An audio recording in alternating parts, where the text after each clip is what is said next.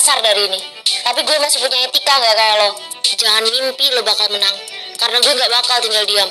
Sikap gue sama lo tergantung cara lo memperlakukan gue. Lo kasar, gue juga bisa lebih kasar. Gue gak akan biarin lo nyakitin sahabat gue.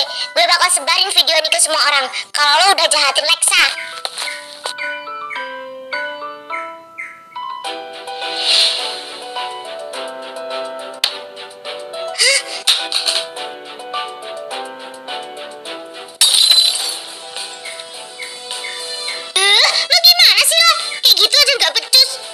Sayangnya HP-nya udah hancur.